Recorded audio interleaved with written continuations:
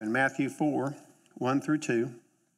Then Jesus was led by the Spirit into the wilderness to be tempted by the devil. And after fasting 40 days and 40 nights, he was hungry. How many of you notice how many days he's in there? 40. 40. Okay? If I was going to be tempted to turn stones into bread, that temptation could have started on day two. All right? All I got to do is fast one day and, I, and, I, and I'm hungry. Can I get a witness? Right? 40 days. 40 days. I mean, one day of fasting, getting hungry, the next day, you know, the enemy starts with the temptations. Give it three days, four days. We're out of the wilderness. We're, we're ministering. We're touching the sick. We're, we're preaching truth. See? That's my good American mind. I don't know if you realize that shortly after he comes out of the wilderness, he spends a little time teaching. He calls four fishermen to uh, be his disciples. But the next big event is he goes to a wedding where he turns water into wine. Okay, how many of you have a daughter that you're going to have to give in marriage someday? Anybody got one of those left? Yeah. Hey, can I tell you something? Just be glad you didn't live back then. Because a wedding took seven days. Five, if, if it's a short wedding. Oh, it's a short wedding. It's only five days. No, seven days. Seven days. Dad, you are feeding them and taking care of them and entertaining them. It had to cost a, a fortune. Jesus goes to a wedding. Seven more days. We got 40 days. We got maybe a couple of weeks in between. We got the we got the seven day wedding. I mean, come on, Lord. You've only got three and a half years. You're the answer to all the questions. You're the one that can fix everything that is messed up, and you are lollygagging. You are spending all this time. That's my good American mind. See, the, the thing is, is, is when we start to look at Christ, if we really begin to look at him, it, it, it has the ability to help us in our perspective because we are so time driven, time controlled, and um, we don't really grasp that when you only have a little over three years, that you don't really have time to be doing 40 days out in the wilderness. I mean, come on, the world needs you. The devil's already damned. Why you got to spend 40 days out there fighting with him? We'll talk about that next week. But that whole mentality of how he is, as I would call it, easing into ministry, in contrast to what we'll see with Paul. But 40 days, a week, none of these things really matter because he is God over time. He has inserted himself into time, but still, he's God over time in absolute control of everything. And uh, that's, that's not changed. And yet we have a hard time seeing that. Um, and I think we always will until we understand what it means to abide in Him. And that was the big point for last week about abiding. And, and there it is again about abiding. Yeah. When we're abiding in Jesus, we're always where we're supposed to be. And I need you to, to try to remember that. That's important because there are so many times the enemy is going to come at you and your timetable. He's going to come at you about, about things and you're already in such pressure and in such high speed and whatever, and you just need to remember this. Everybody, you need to remember this that when you are abiding in Jesus, you are exactly where you're supposed to be. There's not another place you need to be. I, can't tell how many times I have come right here in this in, in this sanctuary because I love to pray in here. And I have come in here and I am praying, and before you know it, there's this thought in the back of my head: you need to go call somebody. You you need to go. You need to get in there and finish your sermon. You need. Now, there's no place you need to be more than abiding with Jesus Christ. And yet, that is not what I see about the American church. so, uh, I believe there's a huge contrast between Jesus and Paul. And I believe that the life of the church has actually been shaped more by the life of Paul than it has been by the life of Christ. And that's what we're talking about. And um, uh, if you don't think that is so, then I would encourage you to just do something real simple. You can do it tomorrow. Don't do it right this moment, but you can do it tomorrow. You do it this afternoon. And that is this go read any letter that Paul wrote and give it contrast to First John. And see the difference between the mentality of Jesus' disciple and possibly one of Jesus' greatest converts. Okay? Um, anyway, Paul's writings, I think, set up the skeleton of the church. And I think it's on the basis of that. Now, I think in America, we've gone overboard because that's what we do in America. We just take anything and just go crazy with it. And I think we've done that in the American church. Um, and I think because of that, what we see is that the church is so much compelled by its agendas, by its schedules, uh, you know, bottom lines, organization, ministries. Got to have ministries, lots of ministries, ministries, everybody, missionaries. And none of those things are wrong. Teaching. Oh, got to have lots of teaching. Got to have Sunday school for this age bracket, that age, every age bracket. And none of it's wrong necessarily. But I, I, I see that we have become so, the machinery that we have created to do the work of the Lord now maybe is controlling the work of the Lord more than the Lord is controlling his work. And I'll explain that more as we go through this, but I'm, I'm not saying systems are wrong. But where were those systems during Jesus' time?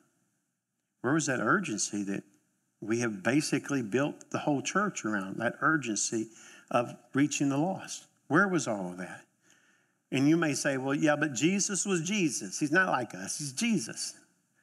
Okay. But what you have been called to is not the church, but to Jesus. Well, once when Jesus left and the church began and got started, it had to get organized so that it could fulfill the Great Commission. Well, I'm going to say yes and no to that answer or that response. The first church actually continued with the very model of Jesus. The first church did not look anything like this. They got together and, and there was an intimacy. And you know what they did in there? They said, Now, this is who Jesus was. This is what he taught us. These are the things that he said we needed to pass down to you. And I believe that when you know this, you'll know him because the whole goal was to help everybody know Jesus. it was basically Disciple 101. It was great. And the church was what? Growing so fast they couldn't even keep up with it. And yet they didn't change the model, they just continued to just grow with it. Now, they did fail at getting the gospel to the nations until persecution. They didn't quite, you know, they sort of stayed in Jerusalem area, like, whoa, this is really good what God's doing here. Didn't move. Um, but even then, when you see that they are scattering and going to all these different areas, you see the very same model take place, and that is connecting people in an intimate way to Jesus Christ. The number one goal that they had was not that, okay, now you got to, you, you, you got to go tell your neighbor right this moment about Jesus Christ, because that's the way it works. No, it was, you need to know who Jesus is. And when you have that intimate relationship with Jesus Christ, then what will come out of that will be organic. It will happen naturally. now, I'm not against organization, but I'm just wanting you to consider that I think the church has taken up more along the lines of the model of Paul than it has the ministry of Jesus. Uh, Jesus eased in. I opened with, we are like two months into his ministry, and to a large degree, my American mind would say, uh, he's just not getting much done. he's just not, he's just not getting going here very good. And yet he was doing exactly what he was supposed to do. Now, Paul was right the opposite. Paul explodes. Acts 9:20 says, and immediately he, who's that he? That's Paul. And immediately proclaimed Jesus in the synagogue, saying, He's the Son of God. Three verses later, it says, When many days had passed, the Jews plotted to kill him. Now, think about it for just a moment. Paul has done in three days what Jesus took three years to do get everybody so riled they want to kill him. and basically, everything, Paul is fast tracking. He's moving things along quickly. He bypassed, you and might say, in many ways, the disciples in, in a short period of time. He goes on to write more letters than anybody. He spreads the redeeming work of Jesus further than anybody. But why? Is it because he was so well trained? He sat under the feet of Gamaliel. One of the greatest rabbis of the time was Gamaliel. He sat under there. He was trained. He had an edge. Is that what it was? Or maybe it was the fact that he was an apostle to the Gentiles instead of the Jews, and there was just a whole lot more of them than there was Jews. So therefore, he just had, you know, he had 10 to 1 opportunities. Or maybe it's because he's trying to make up for lost time, undo what he did.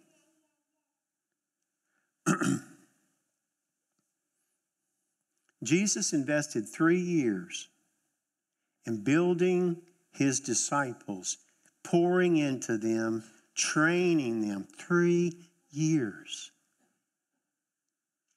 At that same, or right after that same time, Paul shows up and he spends five years trying to kill every one of those disciples that Jesus had made. Now, I don't know about you, I'd carry some serious guilt. I mean, I might be able to say, Thank you, Lord Jesus, for loving me and saving me, but God, how can I ever undo what I have done? I have blood on my hands. I have people right this moment that's in prison. I can't even get them back out because of what I've done. Paul was a zealot. Please hear me a zealot. That's the way he was trained, that's the way he was brought into his whole mentality of thinking. He says he's a zealot, even in Galatians 1 14. It's why he would describe himself as a Pharisee of Pharisees. So you take your Pharisees and how much they were pushy about everything, and he's pushier than the pushy. That's probably bad English in some way, but anyway. Now, I'm sharing all this with you to get you to think. I want you to think. I need you to think. My goal is to inform you of what I'm seeing in the scriptures, challenging you to look at them with me, but for what purpose? Because when we get done, or somewhere in the middle of this, maybe, my whole challenge and hope is that you would understand what following Jesus should look like as opposed to maybe what it has become. Because isn't that really what we want? As a Christian, I want to follow Jesus.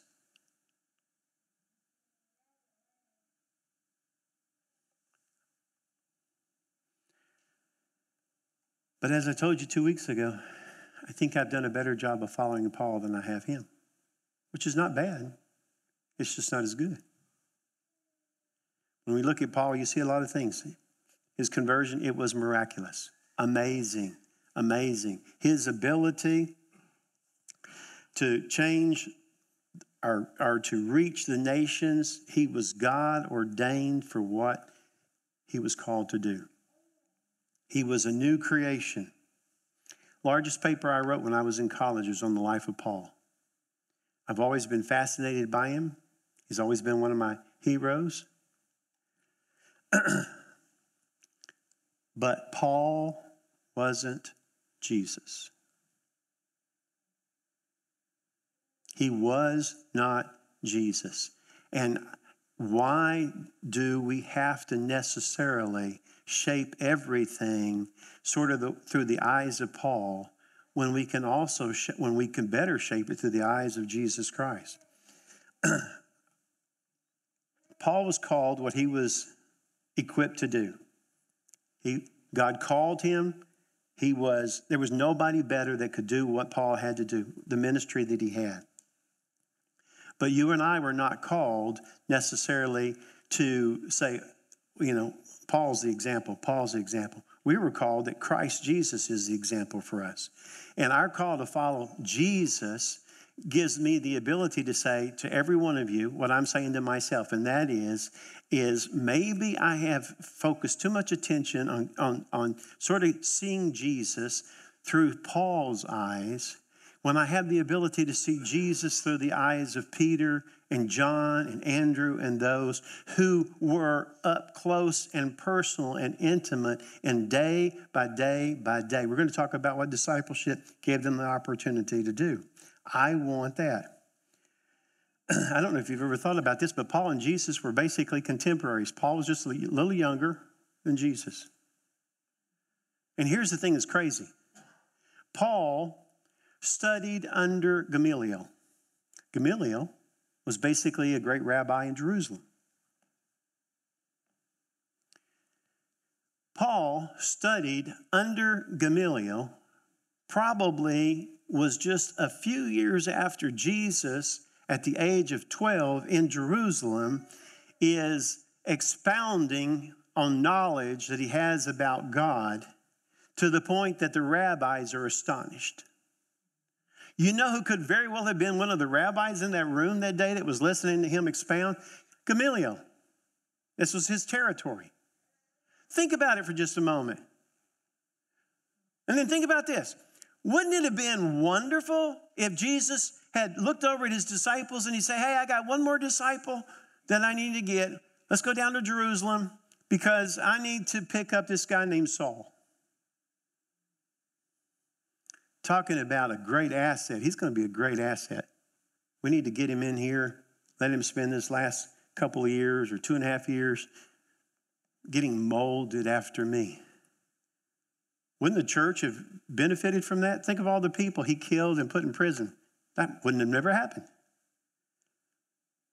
And it wasn't God's will, which is amazing because God, in his unmatched wisdom, knows what he's doing.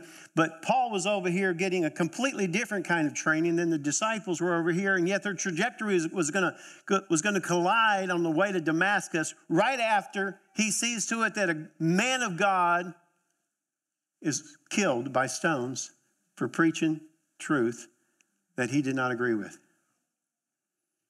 So here's my point.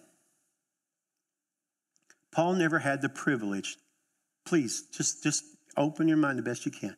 Paul never had the privilege to sit under the feet of Jesus. Did he meet Jesus? He did.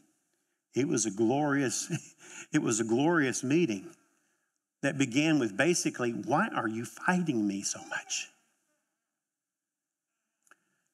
He did not get to sit under the feet of Jesus like the disciples did. So here's my point.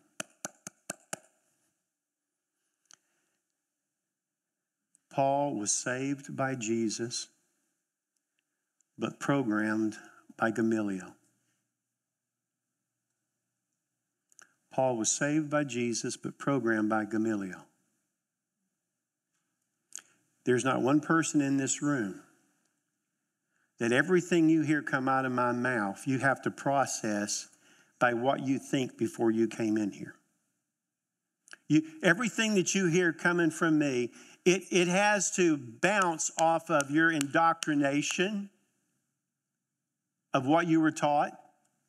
It has to process through the culture and the ideology and the preconceived ideas that you have to get to you before you can have this moment where you say, uh huh. As natural as breathing, we are already preconditioned. The reason why this is a huge challenge for me is because I am battling all of my 40 something years of preconditioning. My 40 something years of how ministry works, how the church functions, and, and, and my love of the Apostle Paul and his phenomenal work to reach the lost.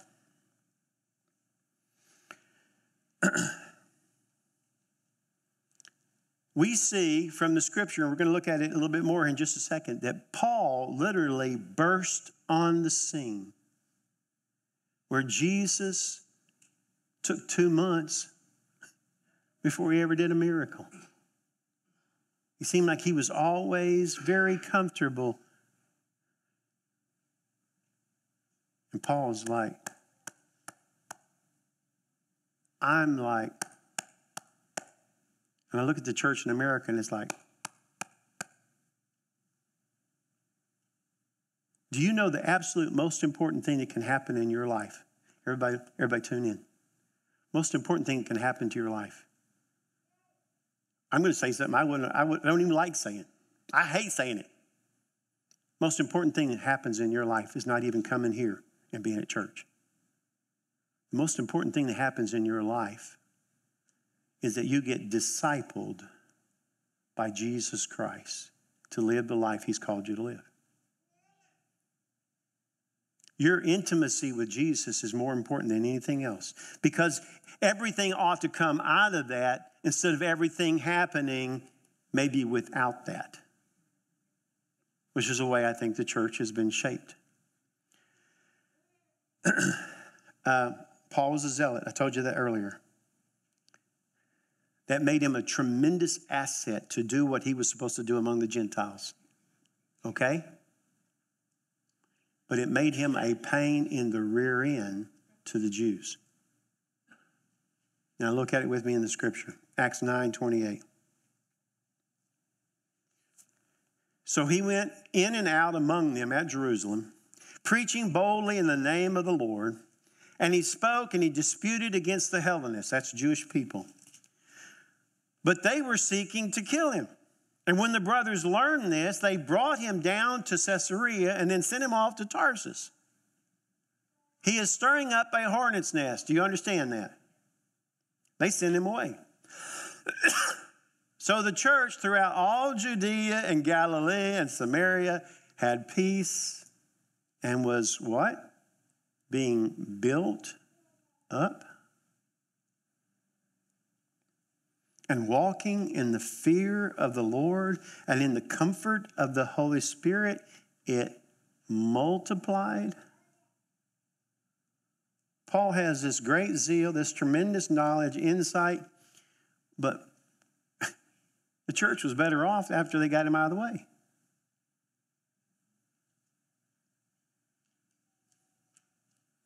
It says that they had peace and, and, and people were being built up and, and fear of walk, the walking in the fear of the Lord, that, that, that, that knowledge, that, that's, that, that's a terminology which really captures what intimacy is. That fear of the walking, that walking in the fear of the Lord. If I get it in the right place, I got fear of the walking dead going there or something. I don't know.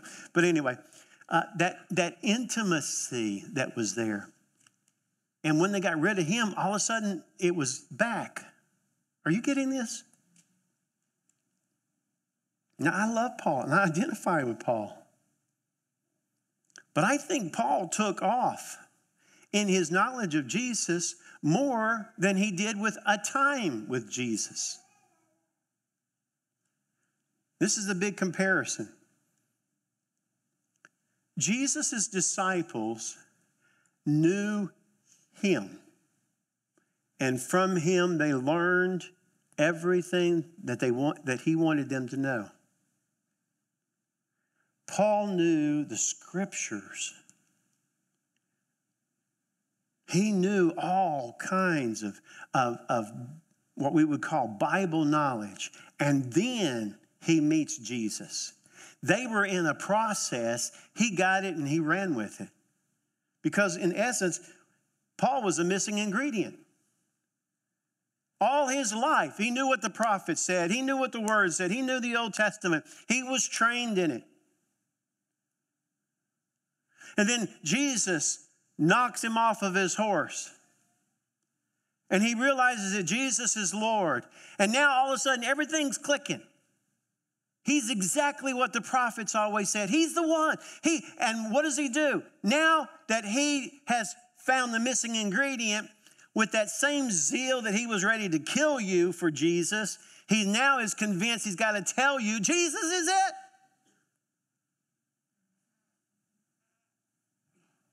And I won't fault the guy for that. That's pretty awesome. But do you see the difference? This is not criticism.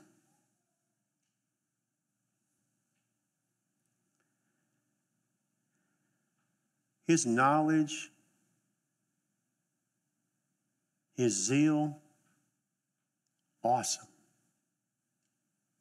But he did not run with what the disciples had of just sitting with Jesus and eating and talking and saying, Explain that to me. I'm not, I'm not sure I understand about those different kinds of soil what all that meant. Jesus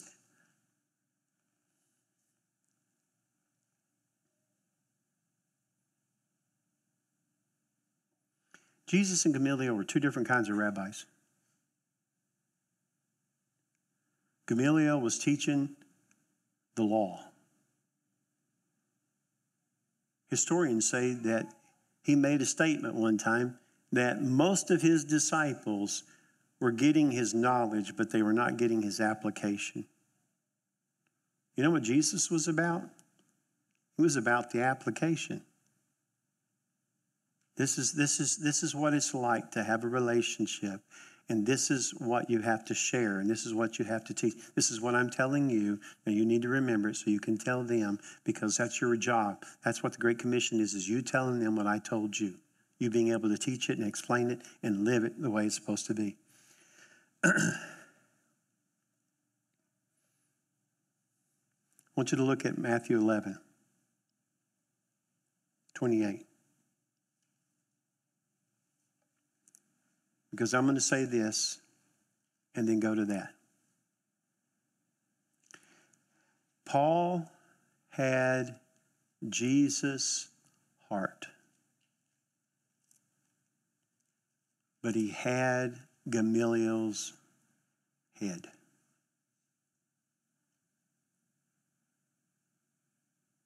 Jesus showed him that he was the way.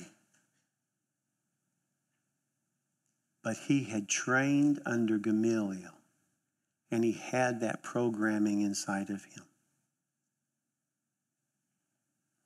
And though Paul was doing a phenomenal job at taking it out there, here's what I want you and, and me to remember. We have been invited into a relationship with Jesus Christ. And better than knowing about Him or knowing from Him, what we ought to know is knowing about Him. I want to know who Jesus is more now than ever before. I want to understand the heart of Jesus. I want to understand the whys. I want to understand the motivations of Jesus Christ. And he gives an invitation to everybody. And here's the invitation to you and me Come to me, all who are, all who labor and are heavy laden. Talk about my world. That's it. And I'll give you rest. Take my yoke upon you. Learn from me. For I am gentle and lowly in heart, and you will find rest for your souls. My yoke is easy and my burden is light.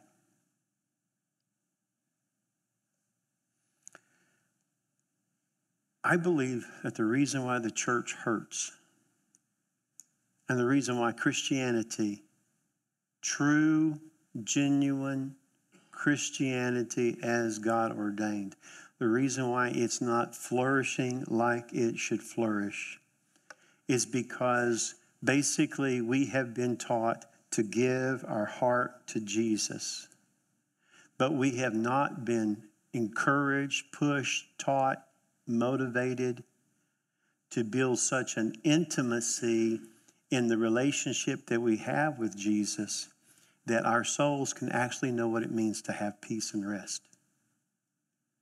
Just look at me.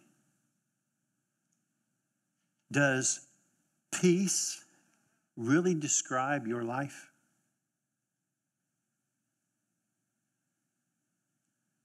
Do you know what it means to just feel like you're in the arms of the Lord like a baby and you got no cares and concerns whatsoever? Does that describe anything about us? No. We are all about the urgency. We are all about get get it done, get this. We have behind us the culture and the pressure of the God of this age who is going faster. Go faster, go faster, do more, get more involved. Choose this, choose that. And the church has lost its intimacy. As a whole, the people in the church, they are very much about what Jesus is, but they are not living in the relationship that has such an intimacy that they literally have this peace that says, the more I get into your presence, the more everything fits and works. The more I get into your presence, the more the enemy's push loses a voice. We've been invited We've been invited to come to Him. And you'll know when you're there because it will be easy. It will be easy. and there will be rest for your souls. I share this with you because I have a, a desire.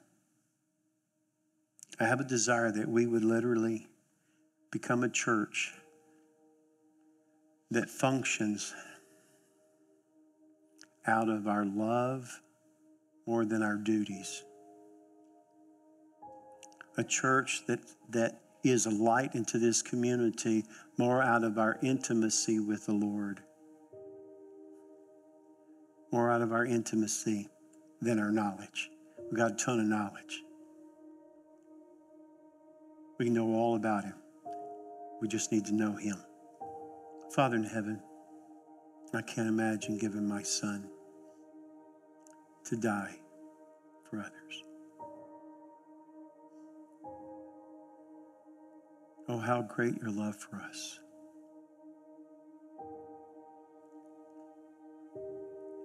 What I appreciate on this particular moment is Jesus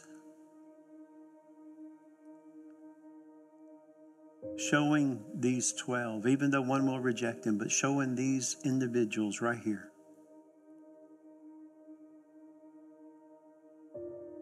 This is the ultimate love. And it begins in this intimacy. And then it expands and goes to the whole world. But Lord, let us capture the intimacy his body was broken for me. His blood was shed for me. And that He is calling me to Himself. And out of that will come all the ministry that we'll ever need to change the world. I pray this in Jesus' name. Amen. Amen.